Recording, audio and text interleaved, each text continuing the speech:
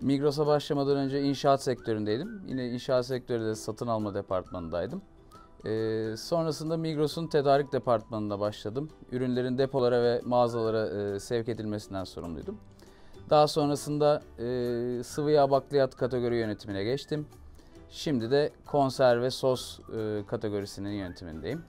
E, şu an bu şekilde devam ediyorum.